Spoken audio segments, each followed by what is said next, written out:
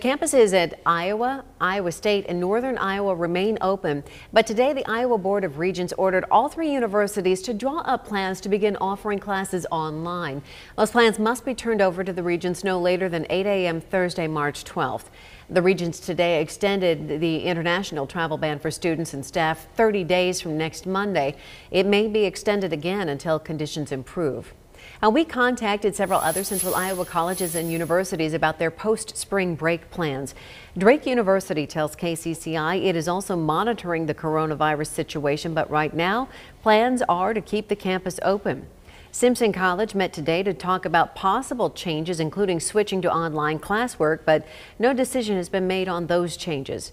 And Grandview University says right now it's business as usual, but it is monitoring the situation to see if changes need to be made there.